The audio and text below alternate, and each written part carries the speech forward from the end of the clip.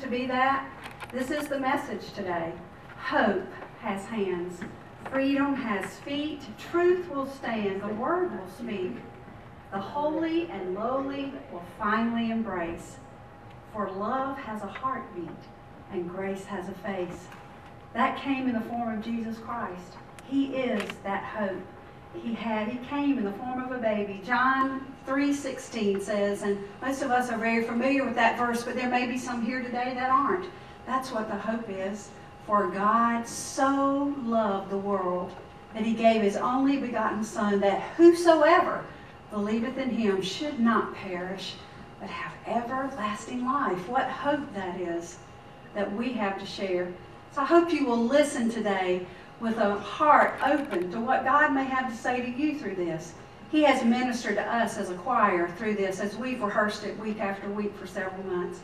A hope, a hope that has hands. Christ has come. There will be a time during this cantata that you will be asked to pray and to think about maybe a decision you need to make in your own heart to accept that hope.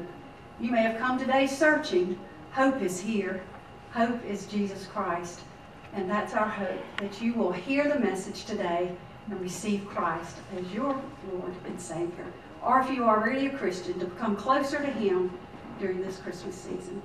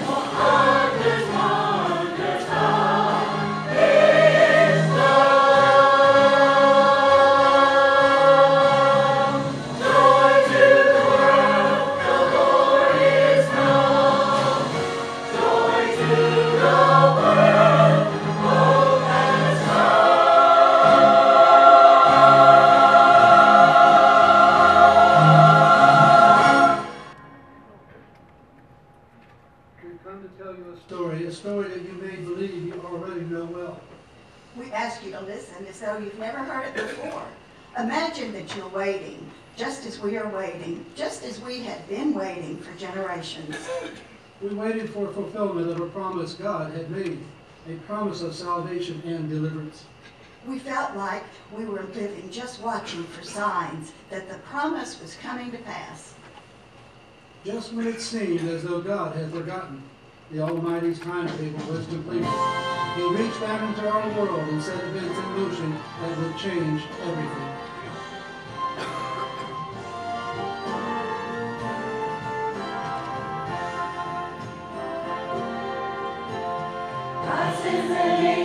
Amen.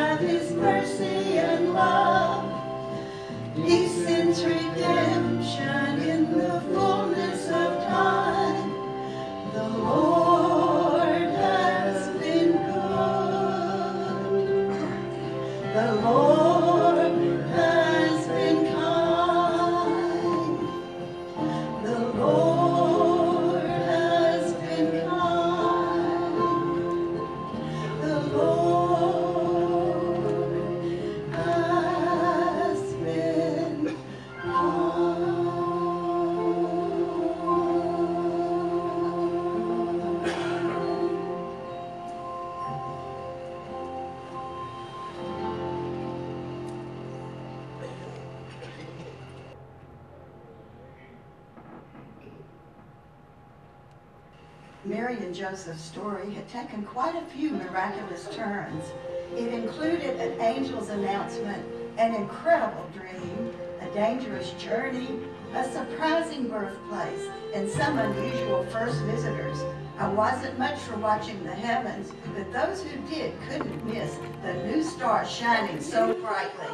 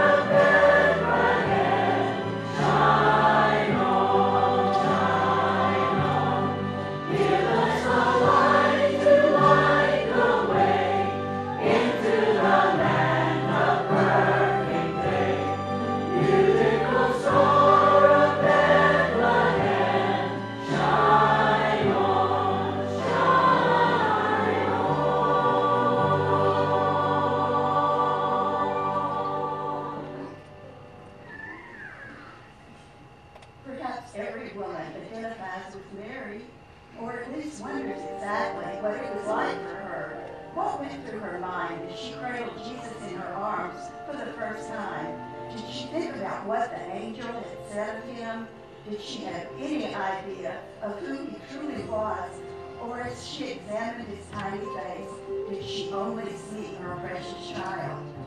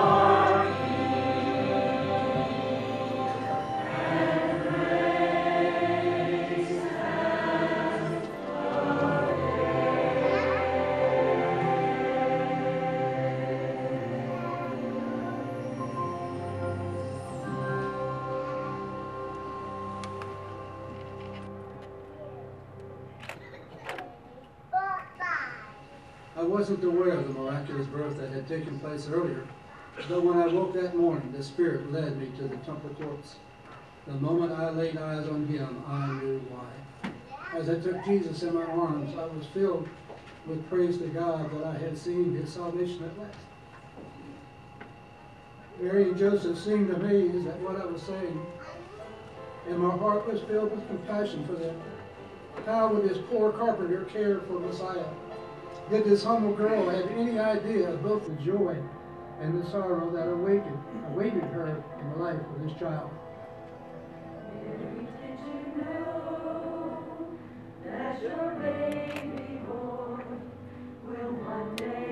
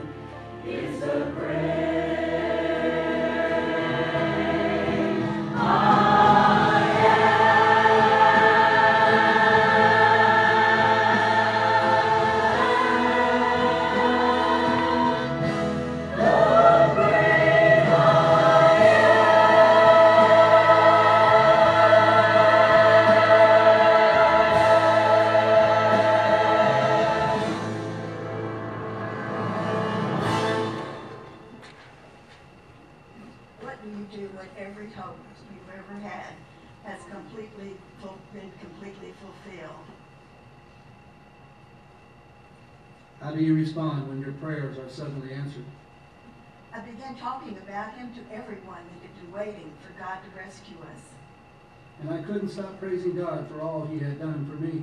It wasn't because I was worthy of such a blessing.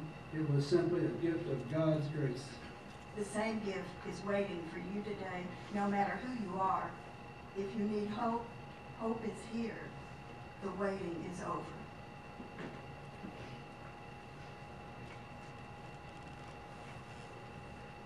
There are many communities and small towns in our United States that will not allow the nativity scene to be set up. It's their religious freedom, as they call it, not to have it. Last night, in watching the news of Newtown, Connecticut, there was a scene where they showed the flag at half-mast. And they had removed the Christmas decorations because they said it's not a time to celebrate. Oh, but it is. Even in the midst of the worst grief, the darkest of darkness, there is hope. And that is Jesus Christ. And that is what Christmas is about. It's not about a tree, it's not about the lights, it's not about the decorations. It's about Jesus. And the decorations should remind us about Jesus. There is a hope. And without Jesus Christ, there is no hope. But with Jesus Christ, there is. Not just for Newtown, Connecticut. Not just for the Muslim woman in Africa that we heard about, but for you and for me. Have we received that hope? Grace is something that we have not earned, but that is freely given.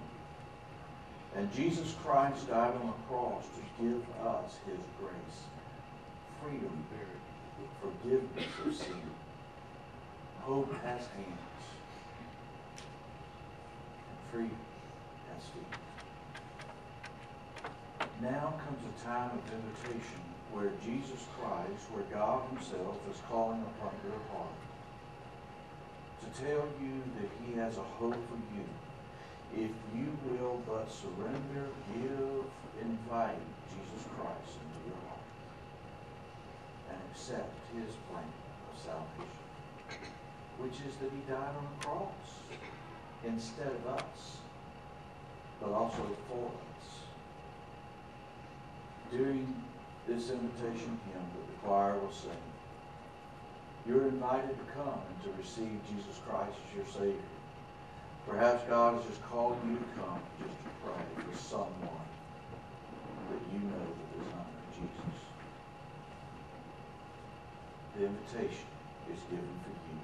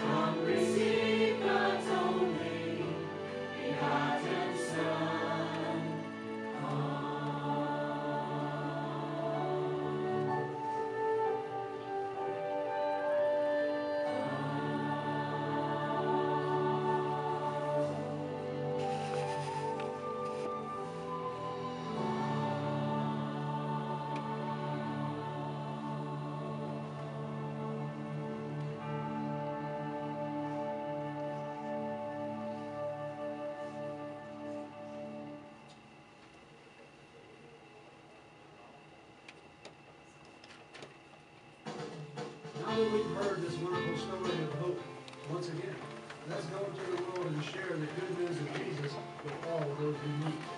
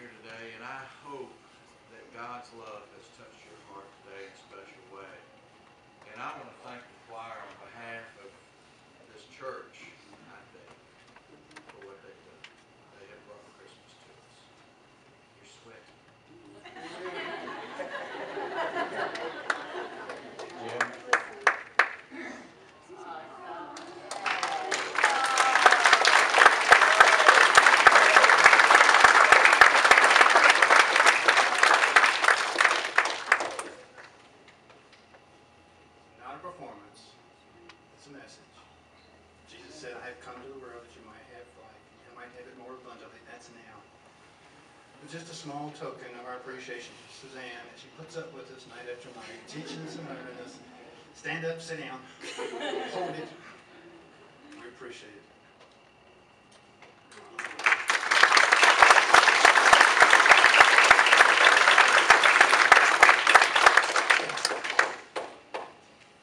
Let's stand and be dismissed together. Let me do remind you that tonight at six o'clock, we'll have our live activity here indoors, and I hope that you'll come and be a part of that. Afterwards, we're gonna have our Christmas cookie fellowship. If you haven't done any Christmas cookies, bring something with you, we'll enjoy it together. And bring somebody with you that they can enjoy this tonight too. It'll be about our children doing the Christmas story for us and hearing it read from the Gospel of Luke and Matthew and I hope that you'll enjoy that as well. Then six thirty on Wednesday night, we'll be having our Christmas dinner together. Those of you that are guests, come on back Wednesday night. You'll have a great time. It is kind of like a covered dish meal. We will provide a bunch of chicken from the church. Uh, it's becoming a little less available chicken. I don't know if you're aware of that now that the Tigers are getting beat four years in a row. But anyway, it is good to have everybody here, but plan to come back this coming Wednesday night, be a part of that with us. And I also want to invite you next Sunday to be with us in the morning, and then on Christmas Eve at six o'clock, we'll have the Lord's Supper together as a church family and celebrate the birth of Jesus Christ. Let's bow our heads and let's pray together. Heavenly